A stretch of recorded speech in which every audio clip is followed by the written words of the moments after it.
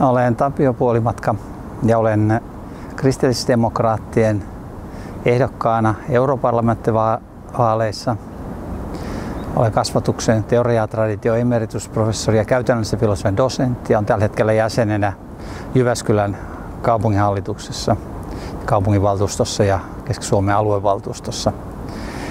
Yksi keskeinen kysymys, mitä vaalikoneessa kysytään, on se, että onko EUsta enemmän haittaa kuin hyötyä. Itse aikoinaan äänestin EU-hun liittymistä vastaan ja nyt yhä enemmän varmistuu se vakaumus, että se oli oikea äänestys. Vaikka aluksi näyttikin, että EUsta olisi Suomelle hyötyä, niin tällä hetkellä haitat alkaa kasaantua.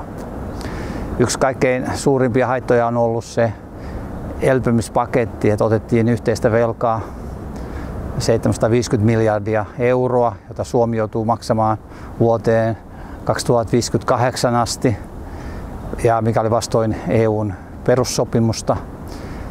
Nyt tämä lisääntyvä kehitys kohti tulonsiirtounionia johtaa siihen, että Suomen varallisuutta yhä enemmän liukuu niihin maihin, jotka hoitaa talouttaa huonommin kuin Suomet, Suomi on hoitanut. Ja sama pätee esimerkiksi tällaiseen kysymykseen kuin metsänhoitoon ilmastonmuutoskatastrofismiin vedoten EU pyrkii ottamaan valtaa päättää Suomen metsien hoidosta, vaikka Suomen, Suomessa on metsiä hoidettu paremmin kuin muualla Euroopassa.